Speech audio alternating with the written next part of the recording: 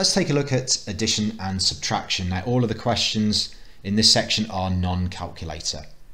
Question number one says find the sum of 3, 2, 3 and 1. Find the sum of means add. 3 plus 2 is 5, plus another 3 is 8, plus 1 is 9. Find the sum of 14, 5, 39 and 25, add them together. I'm going to make life slightly easier for myself because I can do 5 and 25 very easily, so that is a 30. So I'm now adding 30, 39 and 14. You can use a column method if you want. 30 plus 39 is 69 and 69 and 14. I might use the column method for this bit. 9 plus 4 is 3, carry the 1. 6 plus 1 is 7, plus 1 is 8. So the answer is 83. Alternatively, you could just do um, the 30, 39 and 14 and just use the column method with three digits, but you'd still get exactly the same answer. Subtract 4 from 9, well 9 minus 4, use your fingers if you need to, is 5. Find the difference between 22 and 48, well that is subtraction. So I'm going to subtract the smaller number from the bigger number, so 48 take away 22, 8 minus 2 is 6, 4 minus 2 is 2, so the answer is 26. Number 5 says the sum of, so we're adding, using the column method, I'm just going to put one number on top of the other and make sure that the units, tens and hundreds uh, are in line, which is quite easy because both numbers are three digit numbers. 9 plus 9 is 18, 8 carry the 1, 1 plus 9 is 10, 10 plus 4 is 14, so 4 carry the 1, 7 plus 2 is 9, plus 1 is 10. So the answer is 1048.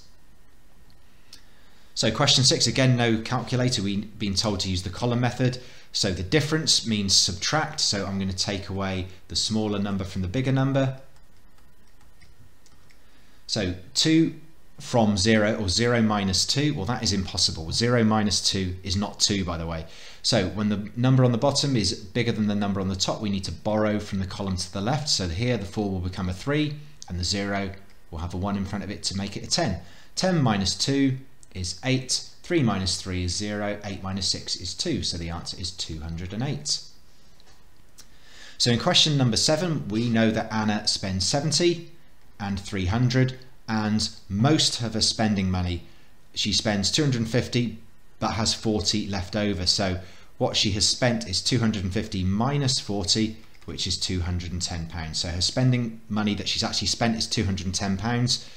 So she spends 300 plus 70 so 370 for the hotel and train fare combined plus 210 spending money so let's add these together 0 7 plus 1 is 8 3 plus 2 is 5 so in total, she pays £580.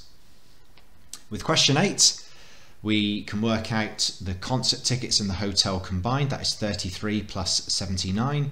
3 plus 9 is 12, 2 carry the 1. 7 plus 3 is 10, plus the 1 is 11. So that is for concert and hotel. Now what about the train tickets?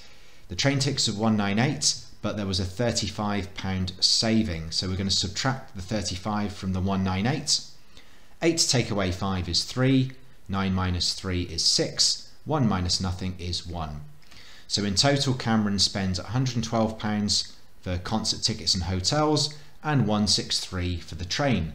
So the total he spends is therefore 163 plus 112, 3 plus 2 is 5, 6 plus 1 is 7, 1 plus 1 is 2, so the total is £275.